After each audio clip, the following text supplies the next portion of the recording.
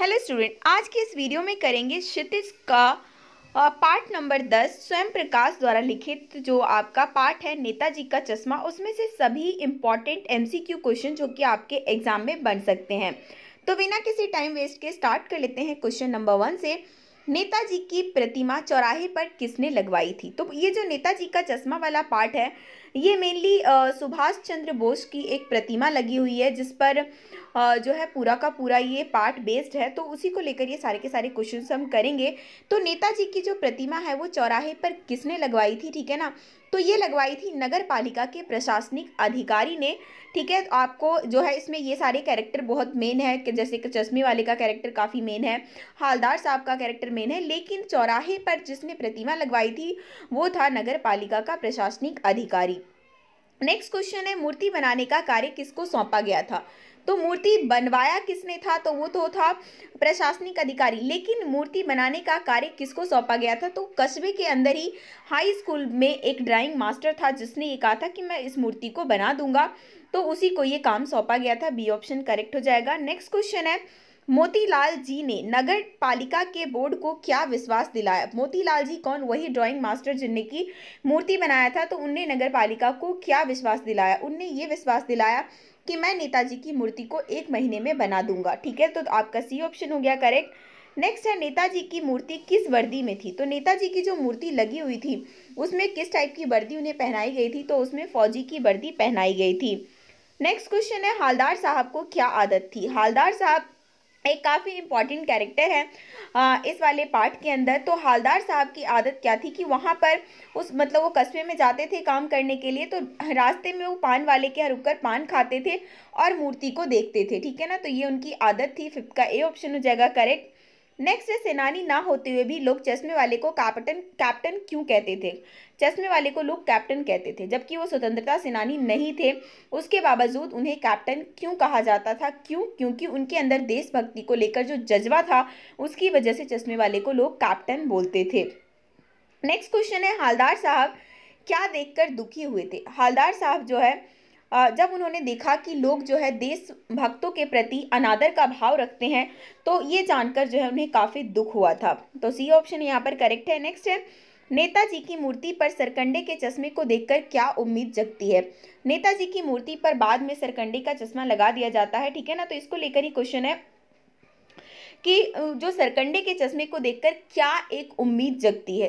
तो उससे यही उम्मीद जगती है कि नए लोग मतलब कि जो नई पीढ़ी है, उसमें भी देशभक्ति की उम्मीद जो है, अभी भी है, ठीक है ना? तो आपका बी ऑप्शन यहाँ पर हो गया करेक्ट नेक्स्ट क्वेश्चन है, वो लंगड़ा क्या जाएगा फौज में? पागल है पागल, ये शब्द किसने कहे हैं? तो ये शब्द जो है, पान वाले ने बोला था, ठीक है ना? किसको किसको लेकर, किसके लिए बोला था? पान वाले मतलब पान वाले ने आ, उस कैप्टन को लेकर बोला था जिसकी चश्मे की दुकान थी ठीक है?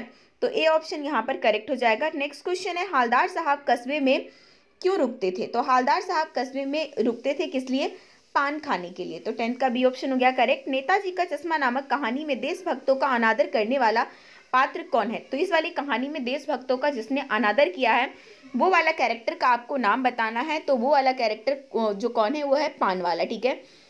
तो डी ऑप्शन यहाँ पर हो गया करेक्ट इस पार्ट में पान वाले के चरित्र की प्रमुख विशेषता क्या दिखाई गई है? तो पान वाले के चरित्र की प्रमुख विशेषता ये दिखाई गई कि वो बातों का धनी है, बाकी वैसे उसमें कोई भी भावना नहीं है, सिर्फ़ बात उससे करवा लो, बाकी तो वो कुछ करता है नहीं। नेक्स्ट क्वेश्चन है, नेताजी का चश्मा पाठ के लेखक का नाम क्या है? तो ये क्वेश्चन काफ़ी इंपॉर्टेंट हो जाता है। तो इस वाले पार्ट को जिन्होंने लिखा है, वो लिखा है स्वयं प्रकाश ने, ठीक है? तो सी ऑप्शन हो गया करेक्ट नेक्स्ट है, सुभाष चंद्र बोस की प्रतिमा किस वस्तु की बनी हुई थी? तो सुभाष चंद्र बोस की जो प्रतिमा थी, वो संगमरमर की बनी हुई थी। बी ऑप्शन हमारा यहाँ पर हो गया करेक्ट नेक्स्ट क्वेश्चन है, मूर्ति निर्माण में नगर पालिका को देर क्यों लगी? मूर्ति निर्माण में नगर पालिका को देर इसलिए लगी थी क्योंकि धन का अभाव हो गया था। तो ए ऑप्शन जो है, यहाँ पर करेक्ट हो जाएगा। नेक्स्ट क्वेश्चन है, सुभाष चंद्र बोस की प्रतिमा में क्या कमी रह गई थी? जो सुभाष चंद्र बोस की मूर्ति बनकर तैयार हुई उसकी प्रतिमा उनकी प्रतिमा बनकर तैयार हुई तो उसमें क्या कमी रह गई थी? तो सुभाष चंद्र बोस का जो मूर्ति बना उसमें जो है चश्मा नहीं था ठीक है? तो ये उसमें कमी देखने को मिली। तो यहाँ पर बी ऑप्शन हो गया करेक्ट नेक्स्ट है सुभाष चंद्र बोस की प्रतिमा पर चश्मा किसने लगाया था?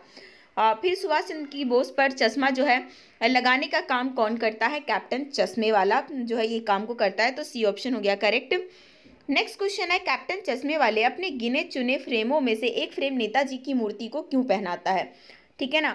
मतलब उसके जितने भी फ्रेम होते हैं, उसमें से एक फ्रेम नेताजी की मूर्ति को क्यों पहनाता है? क्यों? क्योंकि कैप्टन को नेताजी की जो बिना चश्मे वाली मूर्ति बहुत आहत करती थी और वो नेताजी को असली रूप में देखना चाहता था। उसको लगता था कि अगर उन पर चश्मा नहीं है ना तो ये देशभक्तों का बहुत ही अनादर है। तो इस वजह से ये सारे के सारे कथन सत्य है। एटीन का डी ऑप्शन हो जाएगा करेक्ट नेक्स्ट है हालदार साहब के चेहरे पर कौतुक भरी मुस्कान क्यों फैल गई? ठीक है ना? जब उन्होंने ये देखा कि नेताजी की मूर्ति पर काले फ्रेम के सचमुच के चश्मे को उन्होंने देखा तो उनके चेहरे पर एक कौतुक भरी मुस्कान फैल गई। तो नाइनटीन का सी ऑप्शन हो गया करेक्ट नेक्स्ट है कैप्टन को देखकर हालदार साहब अवाक क्यों रह गए? कैप्टन मतलब कैप्टन को जहाँ पे, यहाँ पे बोला गया है, जो चश्मे वाला था, उसी को कैप्टन बोला जाता था। तो उसको जब देखा तो हलदार साहब जो पूरे अबाक हो गए।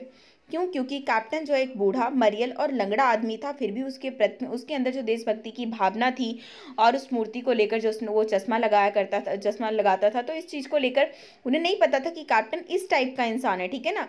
तो कैप्टन बूढ़ा, मरियल और एक लंगड़ा आदमी था, ट्वेंटी का सी ऑप्शन हो गया करेक्ट नेक्स्ट है, हालदार साहब क्या सुनकर मायूस हो गए थे? तो हालदार साहब जो है, जब उन्होंने कैप्टन की मृत्यु का समाचार सुना तो उसको देखकर वो काफ़ी मायूस हो गए थे, ठीक है? अब नेक्स्ट क्वेश्चन है, हमारा नेताजी का चश्मा पाठ किस महान व्यक्ति के बारे में है? तो नेताजी का चश्मा, जैसे मैंने आपको बताया कि ये किनके ऊपर बेस्ड है? ये सुभाष चंद्र बोस के ऊपर बेस्ड है। नेक्स्ट है, नेताजी का चश्मा पाठ में किस बात को उठाया गया है? तो इसके अंदर मुद्दा उठाया गया है विलुप्त होती देशभक्ति की भावना को, कि आजकल के जनरेशन में, आजकल के लोगों में देशभक्ति की जो भावना है, वो धीरे धीरे विलुप्त होती जा रही है। तो इस बात को ही, इस मुद्दा को ही उठाया गया है इस वाले चैप्टर के अंदर। नेक्स्ट है नेताजी ने इसमें से कौन सा नारा दिया था? तो नेताजी का काफ़ी फ़ेमस नारा था, तुम मुझे खून दो, मैं तुम्हें आज़ादी दूँगा ट्वेंटी फोर का यहाँ पर डी ऑप्शन हो गया करेक्ट नेक्स्ट है अंतिम बार हालदार साहब ने नेताजी की मूर्ति पर कौन सा चश्मा देखा था? अंतिम बार हालदार साहब ने नेताजी की मूर्ति पर सरकंडे का बना हुआ चश्मा देखा था तो ट्वेंटी फाइव का डी ऑप्शन हो गया करेक्ट नेक्स्ट है नेताजी की मूर्ति पर सरकंडे का चश्मा किसने लगाया होगा? अब जब उसकी डेथ हो जाती है, चश्मे वाले कैप्टन चश्मे वाले की तो उस उस पर एक दिन हालदार साहब देखते हैं कि सरकंडे का चश्मा लगा हुआ है तो उस, उस पर सरकंडे का चश्मा किसने लगाया होगा? किसी बच्चे ने लगाया होगा ठीक है? ट्वेंटी सिक्स का डी हो गया हमारा करेक्ट। नेताजी का चश्मा कहानी किस भाव पर आधारित है? तो ये किस पर आधारित है? देशभक्ति पर आधारित है। नेक्स्ट है पान वाले द्वारा साफ़ बता पान वाले द्वारा साफ़ बता दिया गया था। वाक्य में कौन सा वाच्य है? इसमें आपको इस वाले जो है सेंटेंस के अंदर वाच्य देखना है। तो जैसा कि मैंने आपको वाच्य ऑलरेडी पढ़ाया हुआ है तो आ, जो है यही मैंने कीवर्ड बता रखा है कि कैसे हम पकड़ते हैं कि ये कौन सा वाच्य द्वारा है द्वारा से हमें साफ़ साफ़ पता चल गया कि ये किसका कौन से वाच्य का उदाहरण है कर्म वाच्य का। नेक्स्ट है दिल्ली चलो का नारा किसने दिया था? तो दिल्ली चलो का जो नारा है ना वो भी सुभाष चंद्र बोस ने ही दिया था। नेक्स्ट क्वेश्चन है नेताजी की मूर्ति पर सरकंडे का लगा हुआ चश्मा क्या उम्मीद जगाता है? तो उससे वही उम्मीद जगता है कि आज भी नई पीढ़ी में भी देशभक्ति का जज्बा जो है वो कायम है।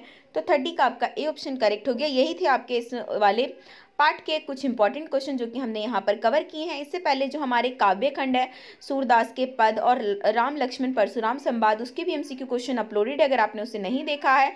तो class ten Hindi MCQ super series में से आप उन सारी वीडियोज़ को देख सकते हैं। ग्रामर सेक्शन की वीडियो भी उसी वाले जो है आप प्लेलिस्ट में पड़ी हुई है। तो आप उन वीडियोज़ को अपने एग्ज़ाम से पहले ज़रूर देखें और साथ ही अपने दोस्तों के साथ भी शेयर करें।